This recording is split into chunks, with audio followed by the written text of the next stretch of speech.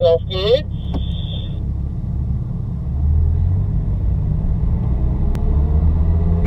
Erste Fahrt hinter mir her.